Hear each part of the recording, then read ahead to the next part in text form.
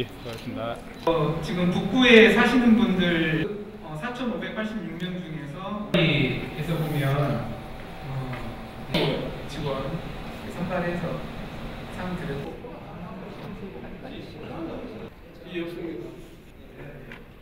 경제산업위원장으로서는 2014년도, 2015년도 포항시 여성발전기금 운용계획안 예산은 일반 및 특별력에 모두 권한 있게 하겠습니다.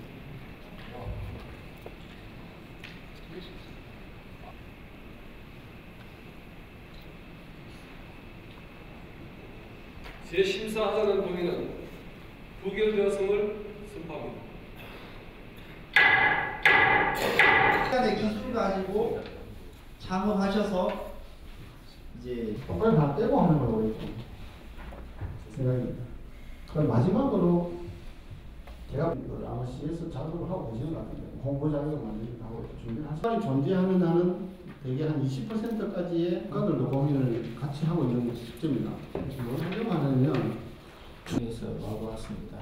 혹시 이야기 도중에 에, 혹시 에, 뭐 질문할 게 있다.